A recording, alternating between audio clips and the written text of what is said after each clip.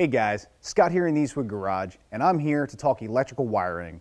Some of you may cringe at the thought, while others embrace the opportunity to make that factory or previous owner's wiring that much more neat and hidden. No matter which side of the fence you fall on, we have an exciting tool. The Eastwood Elite Inline Wiring Connector Crimp Tool is like no other on the market. For decades, we made do with crimp tools that were okay as long as you had copious amounts of room and extra wire to work with, while all too often we find ourselves upside down under a dash or crammed deep in the engine bay. The inline wiring connector tool makes this work easier than you ever imagined with its patent pending inline jaw design. Since you'll be working from the front of your wire, you only need enough exposed or slack to get the solderless connector over the exposed wire and then crimp with our tool. It'll crimp wire sizes from 22 all the way up to 10 gauge with consistent and precise crimps thanks to its ratcheting handles and adjustable crimp pressure. Let's walk through a quick crimp of the tool on the toolbox so you can see it in action from all angles.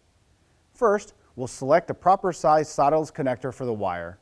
From here, you can insert it into the inline crimp tool and apply just enough pressure to keep the terminal in place. I'm sure in the past you remember juggling the connector, crimper, and wire only to drop one. Next up, we'll insert the difficult to reach wire into the terminal and begin to slowly apply pressure to the handles until the ratcheting mechanism fully closes and releases.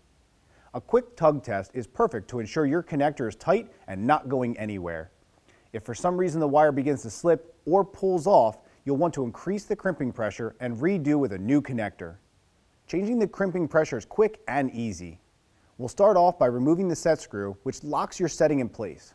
From here, we can turn the dial counterclockwise to increase pressure or clockwise to decrease. Then, reinstall the set screw and back to crimping.